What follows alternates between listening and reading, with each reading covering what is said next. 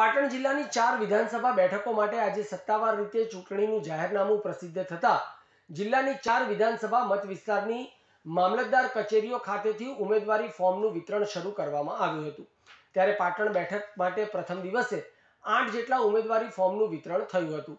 તો બીજા દિવસે બપોર સુધી બે ફોર્મનું વિતરણ થતાં કુલ દસ જેટલા પાટણ વિધાનસભા બેઠક માટે ફોર્મનું વિતરણ કરાયું હતું. જ્યારે એક પણ ફોર્મ ભરાઈને પરત આવ્યું ન હતું.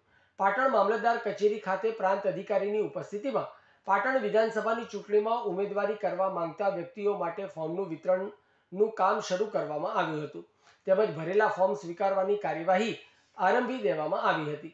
ત્યારે પ્રથમ દિવસે અપક્ષમાંથી ચૂંટણી લડવા માંગતા પાંચ વ્યક્તિઓ ફોર્મ લઈ ગયા હતા. જ્યારે ભાજપમાંથી ચૂંટણી લડવા માંગતા સંભવિત ઉમેદવાર મંગાજી ઠાકોર, ગરવી ગુજરાત પાર્ટીમાંથી, આમ આદમી પાર્ટીમાંથી લાલેશભાઈ ઠક્કર ફોર્મ લીધા હતા. જ્યારે પ્રથમ દિવસે એક પણ ફોર્મ ભરાયું ન હતું તેમ પ્રાંત અધિકારીએ જણાવ્યું હતું.